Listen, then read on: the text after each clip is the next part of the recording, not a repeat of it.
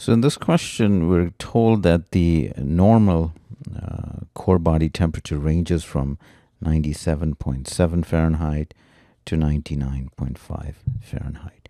Essentially, this inequality means T falls between those two values.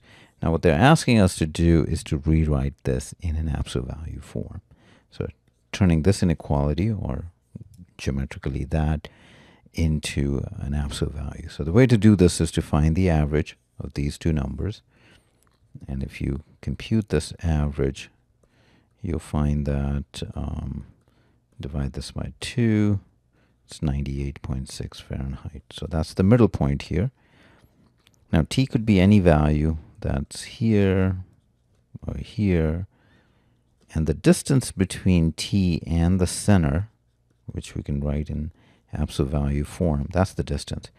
That distance has to be less than half the total distance between these two because it can go either side of the, the midpoint. Now, what's the distance between those two?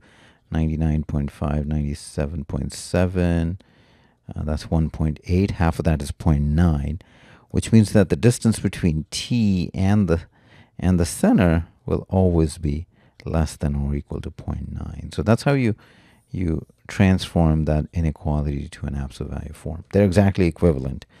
Um, so if you look at the answer choices, this matches with B.